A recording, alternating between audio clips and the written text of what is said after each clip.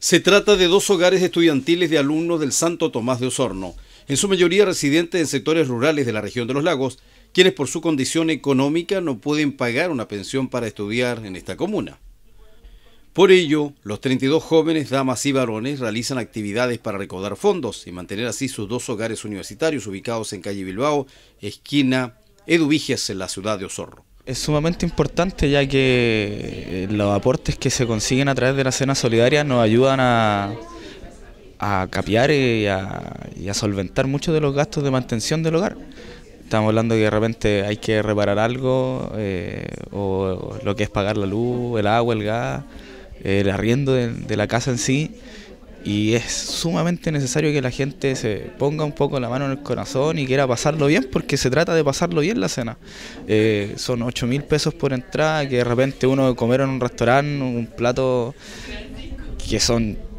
La comida que va a haber es mucho mejor que en un, que en un restaurante aquí de los más caros y 8 mil pesos no es nada comparado a que se pueda ayudar, se puede ir a pasarlo bien. Los estudiantes universitarios, a través de Palmira Ballesteros, también destacan la oportunidad que tienen para estudiar siendo albergados en hogar universitario del Santo Tomás y a bajo costo. Mi experiencia eh, ha sido de gran ayuda, la verdad. Eh, proveniendo de Chiloé, soy la que más lejos viene. Eh, sin duda es una ayuda para todos, para todos los que venimos de provincia.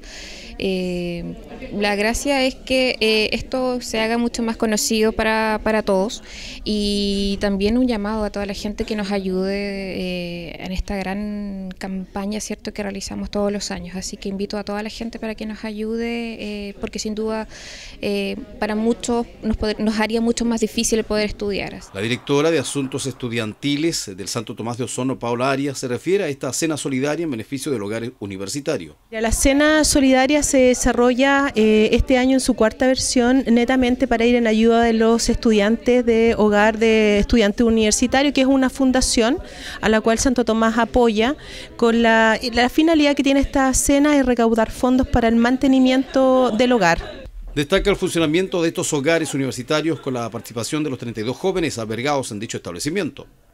El hogar funciona eh, bajo un sistema de autogestión.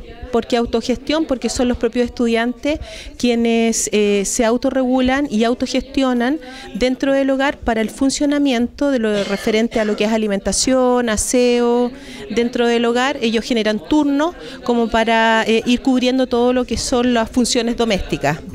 ¿Quiénes son los que están en el hogar para que la gente que nos ve o nos escucha sepa la importancia de colaborar en esta semana?